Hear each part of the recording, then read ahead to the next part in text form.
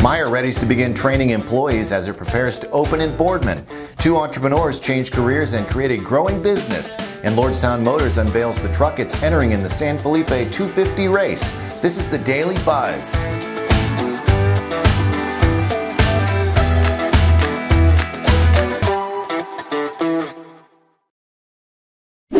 Everyone. Welcome to the Daily Buzz. I'm Mike Moliterno. Employees of the new Meijer store in Boardman will soon begin training as the company eyes a grand opening sometime in the second quarter. Meijer will announce an official opening day once they're about six weeks out, said store director Desi Zaclany. Zaclany spoke at this morning's Good Morning Mahoning County event at Stambaugh Auditorium. We happen to be right now in Youngstown uh, State University where we are hiring away. We've been doing it for about four days, and uh, today is going to be um, our final day at the university. But we're super excited about the talent that this community has to offer. The event was held by the Youngstown Warren Regional Chamber. New President Guy Coviello discussed some of the projects that came to the Valley as a result of last year's state capital budget. I would uh, encourage you to mark your calendars for April 14th. That's when we will have our fourth annual Columbus Drive-In, and once again, uh, conveying uh, as a collective voice what this community needs to our state leaders is the way we can better compete against the three C's and others when it comes to state funding and, and favorable public policy.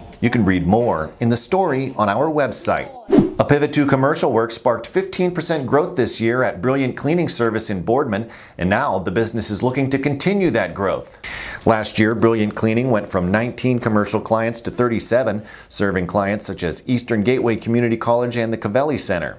Co-owner Teresa Viviano says this year they're looking to add to their staff of 30. We're just coming out of a, we're hopefully coming out of a terrible time with the pandemic, um, but that really gave us a lot of um, insight into, you know, uh, disinfecting and being clean and not passing along germs. And I feel like that is relevant anywhere. The company celebrated a ribbon cutting for its new offices Thursday. Viviano and her husband Paul Wilson started the business out of their home. Viviano worked for years as a nurse while Wilson was in the trucking industry. You can read more in John Vargo's story on our website. Lordstown Motors says one of its beta prototypes will take part in the 2021 SCORE International San Felipe 250 race in Mexico, and it's giving the public a look at the truck it will enter. The automaker shared a rendering of the truck, which would be the first electric vehicle to ever complete the San Felipe race. The San Felipe is a 290 mile race in San Felipe, Baja California, Mexico. It takes place April 17th. Ohio X and the Youngstown Publishing Company are partnering to deliver the Ohio Tech Report, a weekly video series showcasing the companies and people driving Ohio's technology sector. The series is hosted by OhioX President Chris Berry and Youngstown Publishing Company CEO Jeff Leo Herman. The seven minute long video recaps the week's most important tech stories. The Ohio Tech Report is available on the OhioX YouTube page and will soon be distributed on the Business Journal's social media platforms. Addison Healthcare Center in Masury has been purchased for $2.5 million by Addison Asset Ownership, a healthcare group out of Cincinnati. Addison Healthcare is the former Orange Village Care Center. Addison Asset Ownership is part of the Communicare family of companies, which operates 86 centers, including five in the Valley.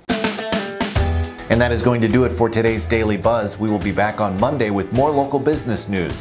Thank you very much for watching. I'm Mike Moliterno. 717 Credit Union. Business services designed to meet your daily needs. Commercial loans, business deposits, merchant and payroll services. 717 Credit Union. It's knowing you were treated right every time. Thanks for watching the video. Be sure to like, subscribe, and hit that little bell for notifications. And also make sure to connect with us on Twitter, Facebook, and LinkedIn. For all of your business news, visit businessjournaldaily.com. For all of your arts and entertainment news, go to afterhoursyoungstown.com.